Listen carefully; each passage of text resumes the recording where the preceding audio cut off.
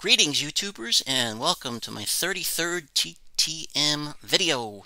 Today I will show you uh, three purchases that I got in the, excuse me, three TTMs I got in the mail this weekend, two purchases, and a card that I'm going to add to my collection that is kind of very special to me for a certain player that I liked. Uh, it's been a while since I've done a video. I was going to do a tour of the man cave, but some things came up. Haven't been getting a lot of mail anyway. I don't know why, but got a good mailman. He's a collector as well, so we always talk. He sells things on eBay, and uh, just haven't been getting them in. So let's get started. The first card that I'm going to add to my personal collection is this card. It's a rookie card of a former Chicago Bear running back and that's of Mr. Brian Piccolo. Very famous Brian Piccolo of the movie uh, Brian's Song, which starred uh, James Caan as Brian Piccolo. This card was his rookie card, but you can see, these, see excuse me, they spelled his name wrong on the front, B-R-Y-O-N. And also on the back, they spelled his name wrong, B-R-Y-A-N. So they got his name wrong both times. I like the card. Know, got the little bear there growling. Always like that. A little bit about him. Louis Brian Piccolo was born on Halloween, October 31st, 1943, in Pittsfield, Massachusetts. He passed away, sadly, on June 16th, 1970, at the age of 26 in New York City at uh, Sloan Kettering Memorial Hospital. When he was three years old, his family moved to Fort Lauderdale, Florida, where he grew up and played uh, high school football. He only had two scholarship offers in his high, after his high school career had ended. One was at Wichita State in Kansas, and the other was at Wake Forest University in Winston-Salem, North Carolina. So he chose Wake Forest, played real hard. He led the nation in rushing and scoring during his senior season in 1964, and was also named ACC Player of the Year. In the Heisman uh, Trophy voting that uh, year, John Huarte of Notre Dame won the award Brian finished 10th in the other voting. That was just ahead of a guy from Alabama, a quarterback by the name of Joe Namath, and right behind him, a running back from Kansas by the name of Gale Sayers, future uh, roommate there and teammate. Uh, one event in 1963 occurred in Winston-Salem at Wake, Wake Forest home game when they were playing the University of Maryland. Maryland had a player by the name of Darryl Hill, who was the only African American football player in the ACC at the time. Then Maryland assistant coach Lee Corso said that Wake Forest had the worst atmosphere of any campus that Maryland would visit that year. And they were really getting on Hill. So Brian Piccolo walked across over to the Maryland bench and to Brian Hill. And what he did simply was put his arm around Hill. And that silenced the crowd that day uh, in North Carolina after he graduated from Wake Forest, he tried, was undrafted, I should say, by both the NFL and the AFL in 1965, that draft. So he tried out for the Chicago Bears as a free agent. He made the team for the 1965 season, but as part of what was then called the taxi squad. Today we'd call it the practice squad. And, and I should say that um, you could practice with the team, but you couldn't dress up for games. In 1966, he made the roster, but played mostly in special teams that year and he started backing up Gale Sayers in 1967. In 1968, in November, Sayers had a terrific, a horrific, I should say, horrific knee injury, and Brian then had to step in as the team's uh, running back. That was his best year in football in 1968, where he rushed for 450 yards on 123 carries, about 3.7 yards a carry. Scored two touchdowns, had 28 catches for 291 yards, about 10.4 yards of reception. In 1964, he was then moved to fullback. And that year, the uh, Chicago Bears started to pair up players by position, not just because of their color. He and Sayers were in the backfield, so they became roommates, first integrated uh, roommates in the NFL. In 1969, the Bears were in the midst of one of their worst seasons ever. They finished the year one win and 13 losses. The only win came against the Pittsburgh Steelers. It was in a game against Atlanta after Brian had scored a touchdown that he removed himself from the game, which was very unusual. Started raising concerns with his uh, coaches and his teammates. He said breathing had become too difficult. He was eventually sent to a doctor and eventually diagnosed with cancer on his lungs. And that would sadly take his life on June 16, 1970, as I said, at the age of 26. His entire career was spent with the Bears from 1965 to 69, where he rushed for a total of 927 yards, four touchdowns. He had 537 receiving yards and one touchdown. His number 41 is retired by the Chicago Bears, and that's the only Chicago Bear jersey I own is uh, his. Number 41. Pick that up. Uh, and again, if you haven't seen it, go see uh, or watch Brian's song. It was uh, based off of a chapter in Gale Sayers' book, the book I Am Third. That was a chapter he wrote about was about Brian. James Caan played Brian Piccolo, and uh, Billy Dee Williams played Gale Sayers. So, good movie. Check it out. But again, I like this card. Been waiting for it, and bid just right. First, I offered the person uh, some money, and they said no. They wanted a lot more. Well, so I decided I'm not going to pay that much, and I bid on it, and eventually won for the price I wanted to. So I was happy with that. This next one is another one of the postcards that I'll add to my Hall of Fame postcard collection, and that is of Hall of Famer Red Schoendienst. And Albert Fred Schoendienst, known as Red for his color of his hair, was born on February 2nd, 1923 in Germantown, Illinois. He passed away June 6th, 2018 at the age of 95. Fred, uh, me, Red's father was a coal miner in Illinois, and his family, as a young boy, would live without running water or electricity. In 1939, when he was 16 years old, he dropped out of school to join the Civilian Conservation Corps, the CCC, which was part of Franklin Roosevelt's New Deal program. While he was working on a fence, he suffered a serious injury to his left eye from a nail. Many doctors recommended, well, you got to remove the uh, the eye. But Red, no, he didn't want to remove it, and he eventually found a, uh, a doctor who was willing to pursue a non-surgical treatment. He would endure constant headaches for years with his rehabilitation. Uh, after the injury, he always found it very difficult to read breaking balls while he was hitting right handed against right handed pitchers. Well, as a young man, he taught himself to hit left handed. So that uh, to solve his problem, he wound up hitting left handed against right handed pitchers, and those were the skills he acquired as a youth. In his entire career, which was a long baseball career, 1945 to 63, he was inducted into the army, but had to eventually was discharged because he had his eye injury and he'd suffered some trauma in a, I believe, a bazooka accident, if I'm not mistaken. But he played from 1945 to 63. His career average was 289, 2,449 hits. He had 84 homers and 773 runs batted in. He played with the St. Louis Cardinals on two separate occasions for that was the bulk of his career. He played for the New York Giants and the Milwaukee Braves. He also was a manager, and a very good one at that. Uh, he managed the St. Louis Cardinals from 1965 to 76, and then again in 1980 and in 1990. His managerial record 1,041 wins and 955 losses, so he won about 52.2% of his games as a manager. Ten times in his career, though, he was an all star. Five times he was a world champion, in 1946 with the Cardinals as a player, in 1957 with the Braves as a player, in 1964 as a coach with the Cardinals, in 1967 when he was manager of the Cardinals when they beat the uh, the Red Sox, in 64 they beat the Yankees, and in 1982 he was a coach in Whitey Herzog's staff when they beat the Brewers. He led the National League in stolen bases in 1945 and he's also a member of the Cardinals, Hall of Fame and Baseball Hall of Fame. So, good uh, addition to the old collection. Put in a uh, best offer, and it was taken. So, nice to add the old redhead there to it. And next, I got uh, purchases of three cards coming to the same player. It's a sleepy purchase, I guess you'd say. And that is a former Georgetown basketball player, Eric Sleepy Floyd.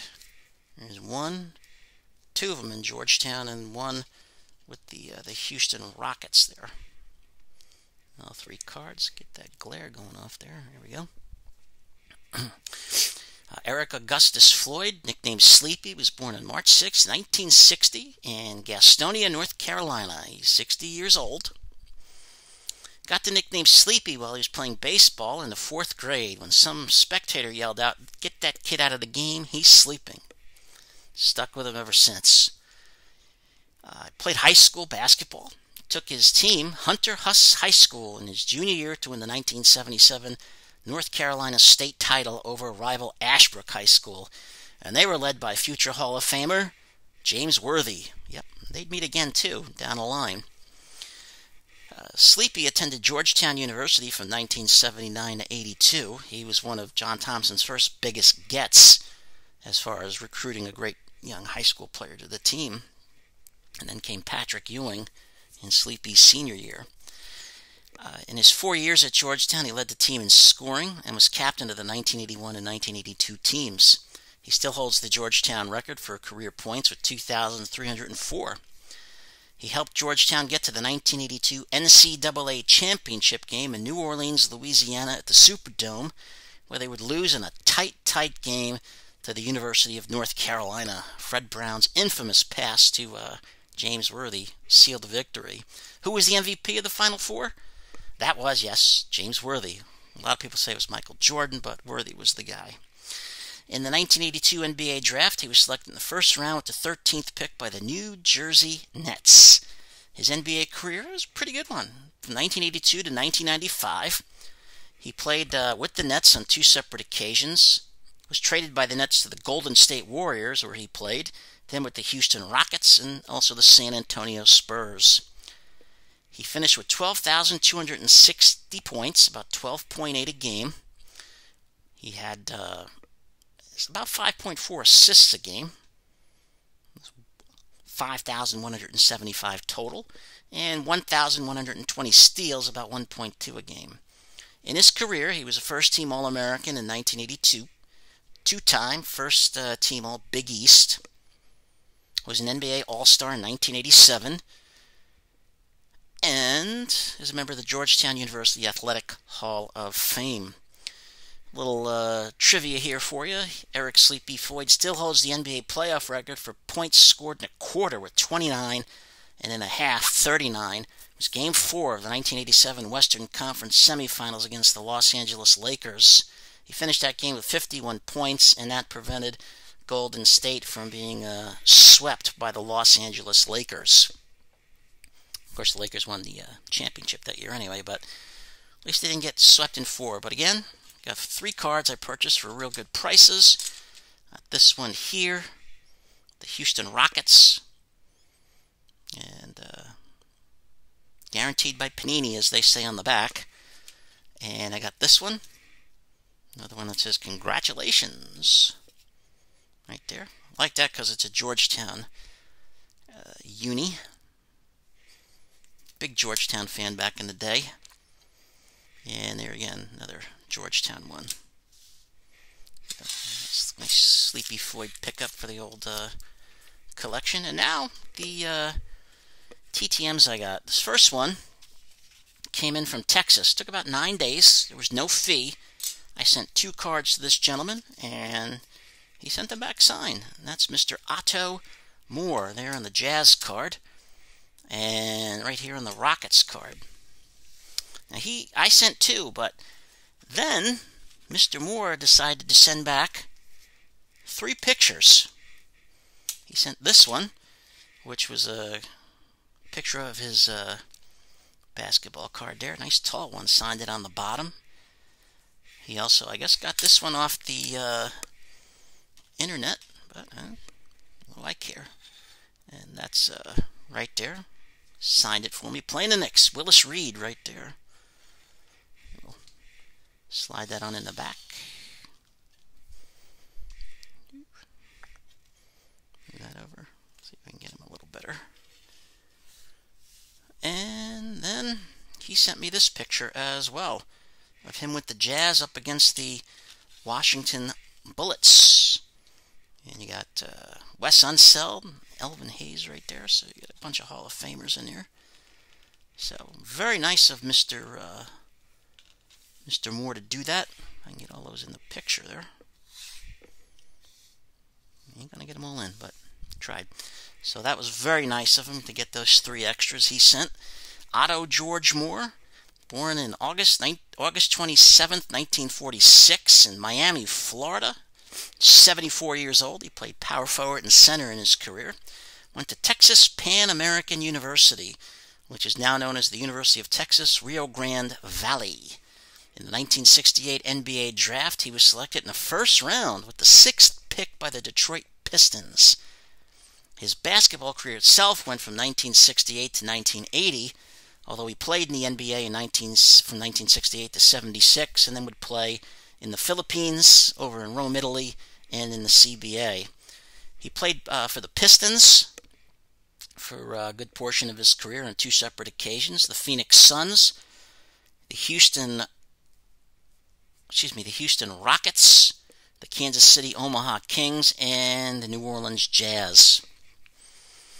He averaged a double double twice in his career, once with the Pistons in 1969 70 season, where he averaged 11.9 points and 11.1 rebounds a game, and one for the Rockets in 1972 73, when he averaged 11.7 points and 10.6 uh, rebounds a game. In his career, he scored 5,616 uh, points, averaged about 8.2 a game, 5,575 rebounds, about 8.2 a game, and 1,060 assists, about 1.6. So again, nine days, no fee. He lives in Texas. He was kind enough to sign the first card I sent him, the old Topps card from 1975-76. And this uh, card, first one he was on the uh, New Orleans Jazz, this one on the Houston Rockets from 1972 to 73. And then he included this nice photo, him on the Jazz there, a replica of his card. And then he included a couple of photos that he obviously printed out, but nice with the Jazz there playing the Bullets. And then when he was on the Pistons playing the Knicks. So, thank you, Mr. Moore. That was very nice. Like the old time basketball players. They do a great job. And the next one, second TTM I got, got this from the U.S. Post Office the old bag. Obviously, they stamped it on the back, which is really great. Now I wrote, please do not bend on the back, as you can see there. I'll take it out of this envelope now. And I also wrote it on the front as well, but it got torn up. So, big tear. But in it were uh, four cards, I believe I sent. I sent four. I think I sent three. I think he sent an extra one, because I don't know. Yeah. I think he sent an extra one to me. And that is a former Cleveland Indian, and amongst many other teams, Mr. Cory Snyder. Got him on the Topps there. Got him on this Topps as well. I'm going to put it in the holder. And also, got him on the old scorecard. Sign that one. I think he sent me this one. Now with the White Sox, I don't remember sending them that Topps one. So.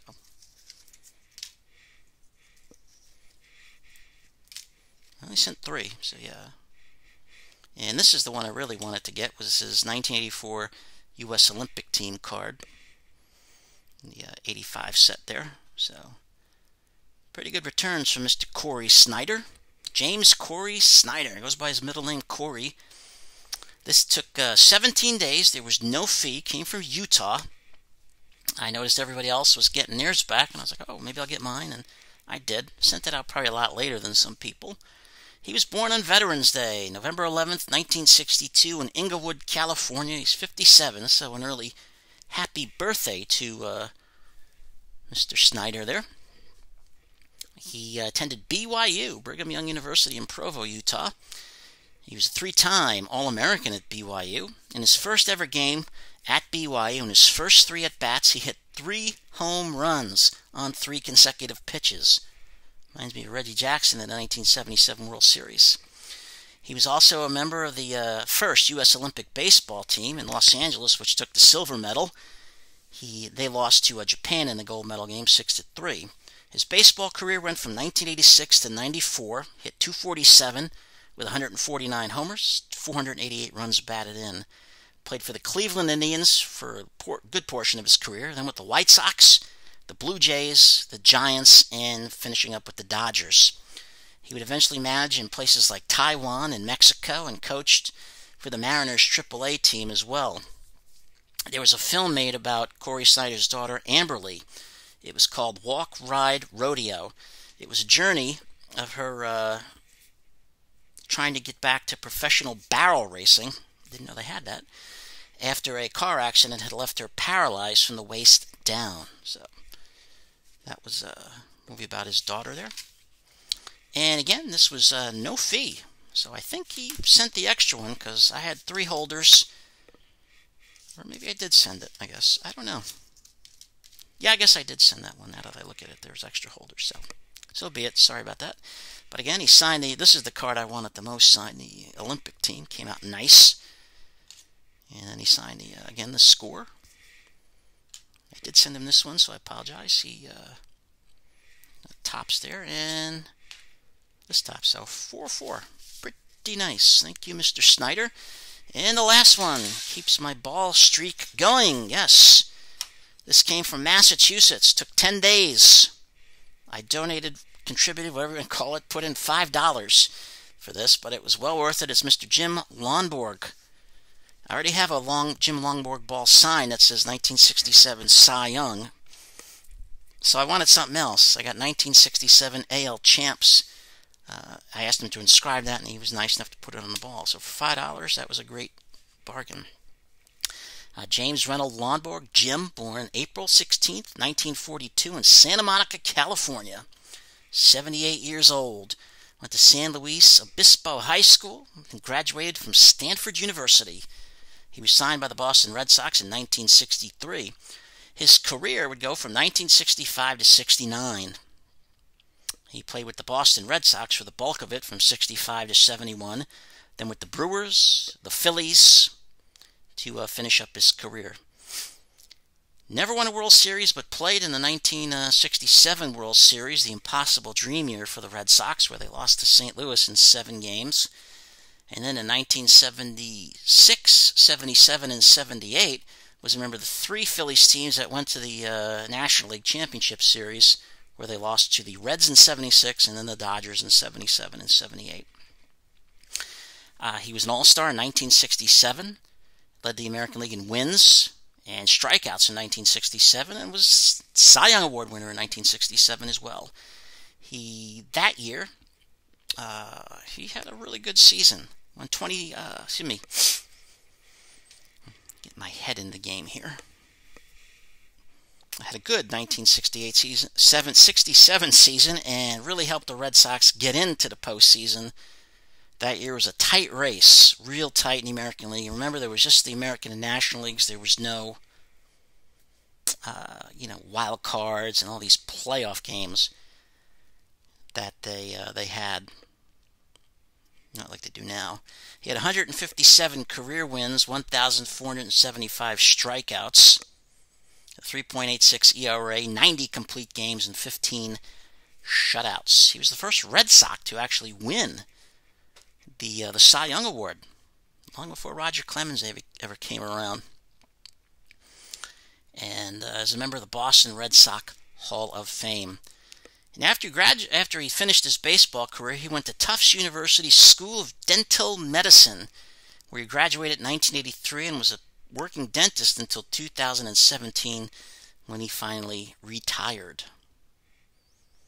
Uh, he injured his knee shortly after the World Series had ended in December 1967 while skiing, and his career was never the same uh, after that allegedly, I don't know if this is true, but supposedly he was uh, chasing actress Jill St. John down the ski slopes when he injured his knee. So that's the rumor. I don't know if it's true. And if you ever watched the show Cheers, there's a picture above the bar for Sam Mayday Malone, played by Ted Danson. That picture is supposed to be Sam Malone, but it's actually a picture of Jim Lonborg. And Sam Malone's character actually wore the same number as Jim Lonborg did. So, little useless trivia for you there. But again, Jim Lonborg, and that was $5 to uh, donate. Well worth it.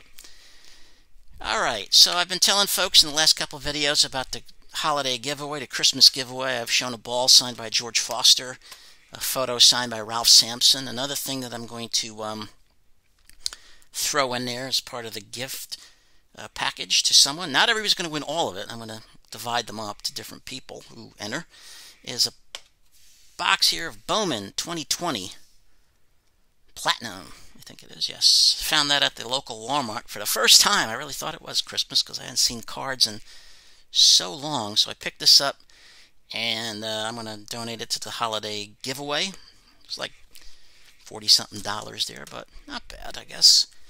And also, I'm going to throw in the Holloway giveaway. I got four packs of uh, Topps 1986 cards. What I'm going to do is open two of them, and then I'll put two in to the giveaway. Uh, I got some other cards coming as well that are unopened, so I'll throw some of those in. So I'm going to keep adding on as much as I can. And this one has run too long. I apologize for that. I want to thank everybody for watching and staying this late.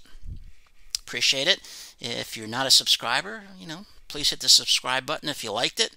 Even if you didn't like it, hit the subscribe button anyway. Maybe we'll have something you like. And uh, please leave a comment. Always try to respond to everybody. I'll get back to you. Thanks again. And tonight, say good night to State of Maine.